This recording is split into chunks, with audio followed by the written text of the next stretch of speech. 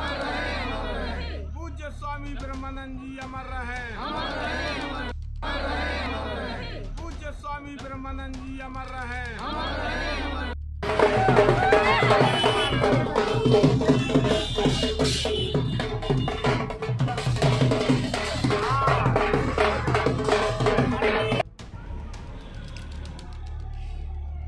पूज्य स्वामी ब्रह्मानंद जी अमर रहे।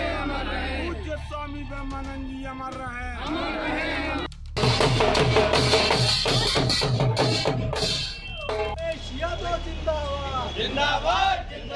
समाजवादी पार्टी जिंदाबाद जिंदाबाद जयदीन राठी जिंदाबाद भाई राज बहादुर पाल जी हमारे बड़े भाई दो तीन बार के विधायक और मंत्री मान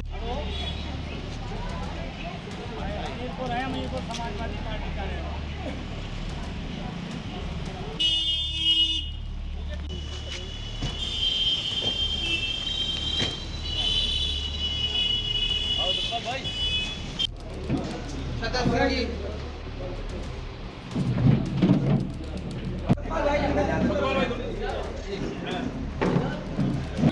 देखो, इस देश में जो फिरका प्रशिष्ट ताकतों की सरकार। है इस देश को बचाना है इसके संविधान को बचाना है। हम ये चाहते हैं कि जिस तरह से माननीय अखिलेश यादव जी सामाजिक न्याय की लड़ाई लड़ रहे हैं, संविधान बचाने की लड़ाई लड़ रहे हैं, इस देश के गरीबों की, सोस्तों की, मजदूरों की, नौजवानों की, बेरोजगारों की, छोटे किसान, छोटे व्यापारियों की, वो लड़ाई लड़ रहे हैं तो इस लड़ाई में उनको कंधे से कंधा साथ देना चाहिए लखीमपुर कांड को लेके क्या कहेंगे लखीमपुर कांड तो इस तरह है ना कि जिस तरह से घटना की गई, सरेआम किसानों के ऊपर जिस तरह से जलिया वाला कांड हुआ था, उस कांड की याद ये दोहरा रहा है। क्योंकि जिस तरह से किसान ये प्रजातांत्रिक देश है, संवैधानिक तरीके से कोई भी आदमी को, संवैधानिक तरीके से आदमी धरना प्रदर्शन करने का अधिकार है, वो अपनी मांगों के लिए धरना प्रदर्शन कर रहे थे। जिस तरह से मनोहर लाल खट्टर जी ने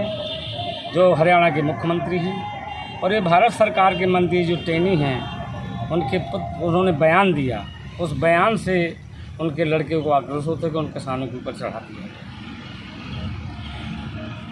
अगर सभा आपको मौका देती है तो किस तरह से आप अपने आप को पेश करेंगे? हम समाजवादी पार्टी की सरकार बने और जिस तरह से समाजवादी पार्टी का कारवां पूरे प्रदेश में ये चल रहा है, क्योंकि मैं बहुजन समाज पार्टी में रहा पहले। और बहुजन समाज पार्टी का मतलब होता है बीएसपी बाद में बीजेपी आई। तो जब इस देश में बीजेपी और बीएसपी बीएसपी बी और पी उसका हटा दो और बी और पी एस का हटा दो। तो एस जे बचेगा एस जे का मतलब होता है सोशल जस्टिस सामाजिक न्याय की जो बात करेगा, इस देश में सामाजिक न्याय की बात करने वाले माननीय मुलायम सिंह यादव जी थे। ये वर्तमान में माननीय अखिलेश यादव जी। ठीक है थैंक यू।